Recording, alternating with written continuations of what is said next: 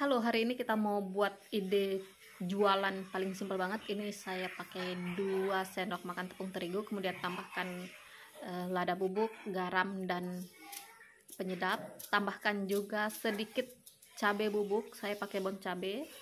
Tambahkan air. Eh, kita atur kekentalannya ya. Jangan terlalu encer dan juga jangan terlalu kental. Segini cukup lah. Kita sisihkan, kita pisahkan tepung roti. Nah, di sini ada sosisnya saya pakai 4 buah sosis. Ini kita tusuk pakai tusuk gigi ya. Nah, seperti ini. Kemudian akan kita potong. Langsung kita potong aja. Kita mau buat sosis bite uh, yang crispy. Jadi pakai olesan tepung rotinya. Seperti ini. Ini gampang banget, simpel banget uh, dijual mungkin bisa 500-an baluri dengan adonan tepung dan kemudian tepung rotinya seperti ini. Setelah ini langsung digoreng tanpa tambahan apa-apa lagi. Nah untuk penyajiannya teman-teman bisa pakai uh, mayo atau saus atau uh, saus dimsum. Saus dimsum juga oke. Okay. ini kita mau menggoreng.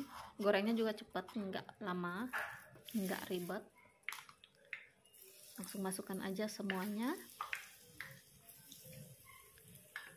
Sampai habis.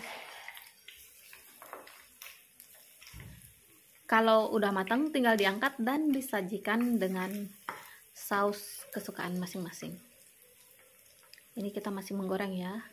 Jangan lupa diaduk-aduk sedikit biar nggak gosong. Cukup sampai kecoklatan kayak gini. Sudah bisa diangkat hasilnya crispy. Oke kita mau angkat dulu.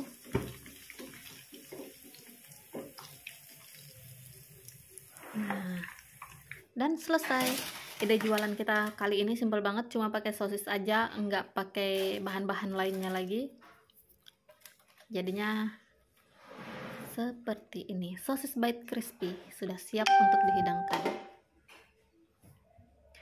Terima kasih sudah menonton. Selamat mencoba semuanya.